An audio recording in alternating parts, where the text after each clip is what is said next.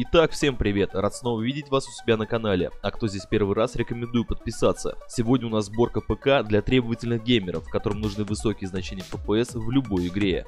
Как обычно, начнем с процессора, им будет представитель 10 линейки Intel Comet Lake i5-10600KF. А где же Ryzen?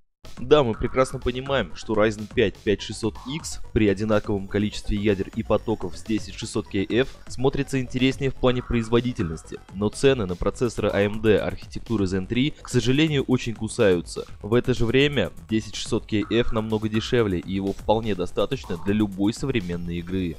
Литера K в названии означает разблокированный множитель, а значит процессор можно разогнать и получить прирост производительности. Литера F означает отсутствие встроенной графики Intel UHD 630, которая нам и вовсе не нужна. Процессоры с литерой F также имеют более низкую стоимость. Есть отличия и между самими процессорами. Существует три вариации процессора Intel Core i5 10 поколения. Это i5-10600, i5-10600K и i5-10600KF. Основаны они на разных кристаллах. Базовый 10600 основан на шестиядерном кристалле, который практически не отличается от кристаллов прошлого поколения, в то время как 10600K и 10600KF имеют в своей основе новый 10-ядерный кристалл с заблокированными четырьмя ядрами. По сути, это отбраковка старших моделей с проблемными от 1 до 4 ядер. И это не все отличия. Версии 10600K и 10600KF имеют припой под теплораспределительной крышкой, а младший 10600 имеет под крышкой обычную терможвачку. И это существенно влияет на отвод тепла от кристалла процессора. Пробежимся по характеристикам нашего процессора. 6 ядер, 12 потоков. Семейство Comet Lake S. Техпроцесс все те же 14 нанометров, кэш третьего уровня 12 мегабайт. Базовая частота процессора 4,1 ГГц, частота в режиме Turbo Boost 4,8. Заявленная максимальная частота работы АЗУ 2666 МГц. Но все мы знаем, что это не так, и этот процессор может работать и с куда более высокими частотами оперативной памяти. Заявленное тепловыделение 125 Вт, и в это тоже верится с трудом. Процессор не назвать холодным. При всех его плюсах и минусах 10600KF остается одним из лучших процессоров для игровой системы по соотношению цена-качество. Конкурент в лице Ryzen 5 3600 далеко не так производителен в играх, а Ryzen 5 5600X хоть и производительнее, но ощутимо дороже. Нам нужна материнская плата на чипсете Z490 для разгона как процессора, так и оперативной памяти. По соотношению цена-качество идеально подходит MSI Z490A Pro. За относительно небольшой бюджет в рамках чипсета Z490 мы получаем 4 слота для оперативной памяти, 2 M2 разъема для высокоскоростных SSD, армированный PCI Express X16 слот для видеокарты и хороший звук защиты от помех. Также сетевой адаптер скоростью до 2,5 мегабит в секунду.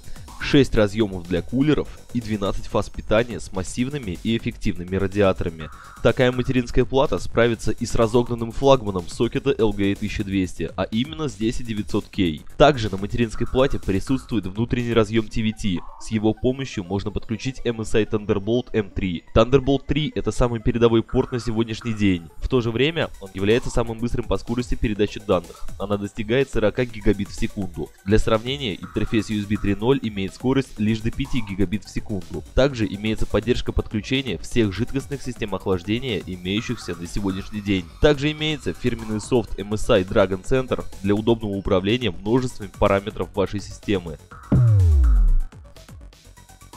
16 гигабайт оперативной памяти двумя модулями по 8 гигабайт в двухканальном режиме по-прежнему достаточно для любой современной игры. Поэтому к вашему вниманию представляю оперативную память Crucial Ballistics. Кит из двух планок по 8 гигабайт с XMP профилем в 3200 на чипах Micron. Наша система легко позволит разогнать ее до частот 3800 МГц, а может и выше. Все зависит только от вас. Для любителей RGB подсветки есть модель Crucial Ballistics RGB. Отличается она только присутствием настраиваемой RGB подсветки. К слову, подсветка выглядит вполне эстетично и совсем не вычурно. Эстетичная составляющая будет радовать глаз того, кто решит немного переплатить за нее.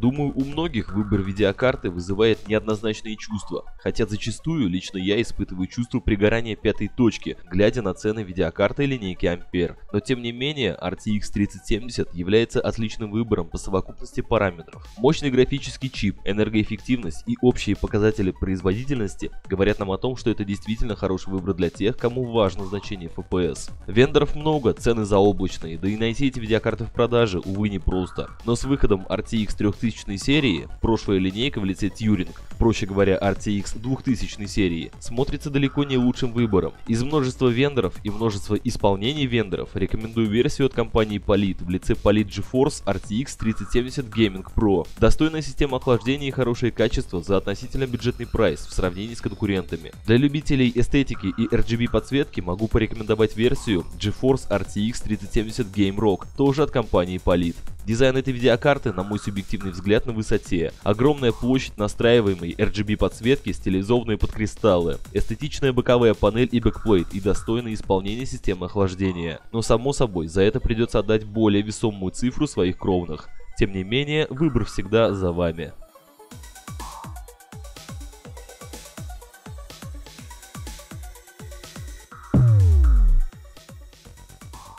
Блок питания – это не железка на сдачу. К выбору нужно подойти с умом, ибо некачественный блок может запросто уничтожить все ваши старания и финансы. Поэтому представляю вам Chieftec Proton Bronze на 850 Вт. Блоки питания этой фирмы знакомы любителям и профессионалам по отличной элементной базе, множеству защит и высокому КПД. Полностью модульная система подключения с удобными в укладке шлейфами позволит провести качественный кабель менеджмент даже новичку в сборках ПК. Для питания процессора есть пара ATX 12 v что позволяет запитать даже двухпроцессорные сборки. Ну а трех 6 плюс 2 контактных разъема для питания видеокарты достаточно для любой из существующих на данный момент видеокарты. Кулер охлаждения, к сожалению, на обычной втулке, но судя по отзывам, служит этот кулер довольно долго, а при необходимости его очень легко заменить. Входной конденсатор принадлежит к высокотемпературной серии, а сама начинка блока питания больше подходит к киловаттнику, что говорит нам о качестве этого решения.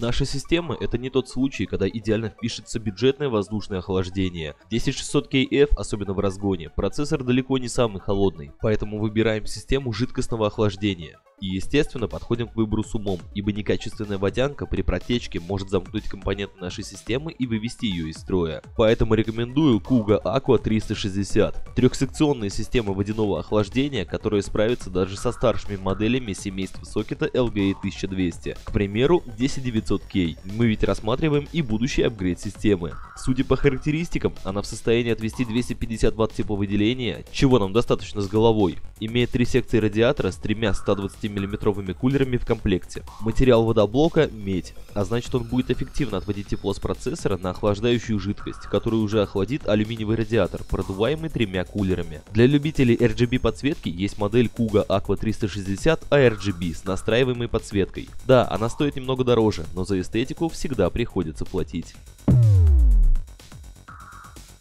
Как мы знаем, исключительно жесткий диск в наше время смотрится уже печально ввиду низких скоростей записи и чтения. В то же время исключительно SSD пространство выходит слишком дорого, поэтому предлагаю классическую связку терабайтного HDD и SSD NVMe на 500 гигабайт. В будущем мы сможем легко расширить пространство как жестких дисков, так и SSD, ведь в запасе еще обилие SATA портов на материнской плате и M2 слот на ней же. Жесткий диск выбираем VD Blue на 1 терабайт со скоростью шпинделя в 7200. Его вполне вполне достаточно для нужд домашней десктопной системы. SSD же предлагаю выбрать Patriot Viper TLC NVMe на 512 гигабайт для системы софта и онлайн игр. Высокие скорости чтения и записи, высокий ресурс работы и наработки на отказ, а также 512 мегабайт кэша говорят нам о том, что это действительно качественный SSD, который прослужит долго.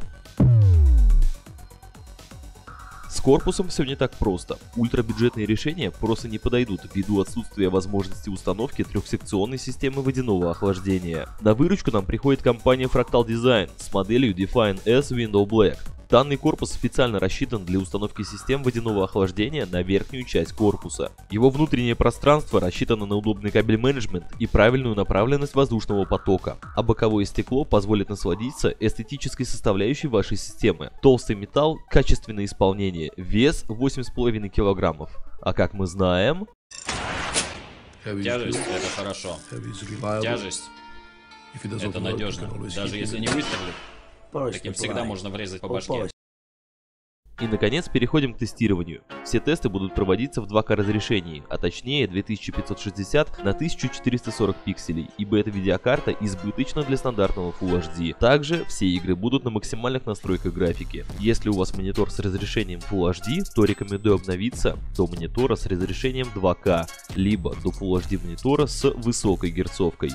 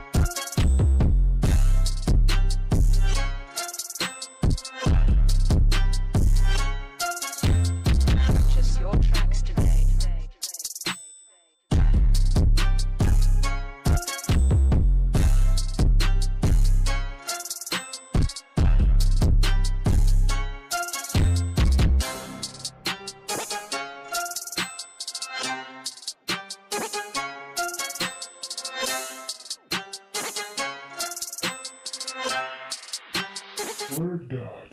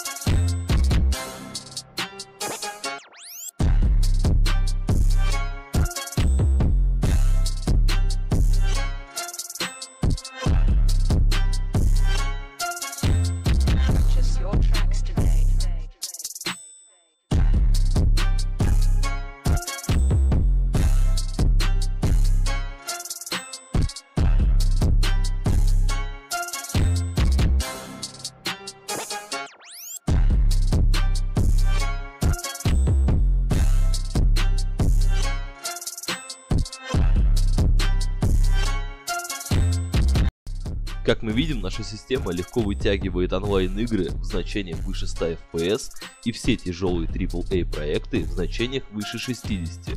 За сим откланяюсь, всем огромное спасибо за просмотр, ставьте лайки, комментируйте и подписывайтесь. Впереди нас ждет еще очень много всего интересного. Всех обнял и всем пока.